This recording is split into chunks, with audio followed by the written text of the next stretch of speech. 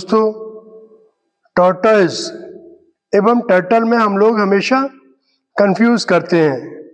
लेकिन ज़रा गौर करें, या इनके बारे में अच्छे से जानें तो अंतर स्पष्ट नज़र आता है। जैसे टॉर्टोइज लैंड पर रहते हैं और कम समय के लिए पानी में जा सकते हैं। तो इनके एडेप्टेशन फीचर्स भी लैंड यानी टेरेस्ट्रियल हैबिटेट के लिए डेवलप्ड होते हैं, जबकि टर्टल्स वाटर में रहते हैं तो इनमें वाटर में रहने हेतु एडेप्टेशन फीचर्स डेवलप्ड हो जाते हैं। जैसा आप जानते हैं टर्टल्स या टर्टल्स यानी कछुए क्लास रेप्टिलिया से बिलोंग करते हैं। दोस्तों, आज हम बात करेंगे हॉक्सबिल सी टर्टल के बारे में, जिसे हिंदी में हॉक्सबिल समुद्री कछुआ भी कहा जाता है। इसका साइंटिफिक नेम इरिटमोचिलेस इम्ब्रिकेटा है, जो फैमिली चीलोनिडी से बिलोंग करता है। ये जीनस इरिटमोचिलेस की एकमात्र स्पीसीज है, जो केवल ट्रॉपिकल सब ट्रॉपिकल मैरीन एवं एश्चुरी इकोसिस्टम में पाए जाते हैं। वैसे तो हॉक्सविल, टटल, अन्य समुद्री कछुओं की तरह लगता है। लेकिन इसकी तेज, यानी शार्प बीक एवं कर्व बीक जैसा आप देख पा रहे हैं। इनकी शैल के चारों तरफ़ आरी की तरह किनारे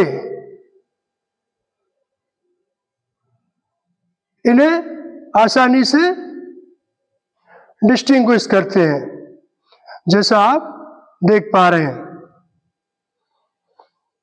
इनकी बॉडी फ्लैट होती है, जिस पर एक कवच या कैरापेस चढ़ा होता है। इनके पैर फिलिपर्स की तरह होते हैं, जो इन्हें समुद्र में रहने के लिए अनुकूलित बनाते हैं, जैसा आप देख पा रहे हैं। दोस्तों, ये बड़ा रोचक है कि हॉक्सविल टर्टल का शेल पानी के तापमान के अनुसार अपना रंग स्लाइटली चेंज कर लेता है। ये ओपन ओशन शैलो लगून एवं कोरल रीफ्स में अपना मोस्टली समय बिताते हैं। दोस्तों एडल्ट हॉक्सबिल टर्टल की लेंथ थ्री फिट एवं इनका वेट 150 पौंड तक हो सकता है। इनकी range tropical reefs of Indian Pacific एवं अटलांटिक ओशन तक फैली हुई है। क्या आप जानते हैं? कि ये टर्टल वैसे तो ओमनीवोरस होता है, लेकिन ये सी स्पॉन्जेस को भोजन के रूप में प्राथमिकता देता है।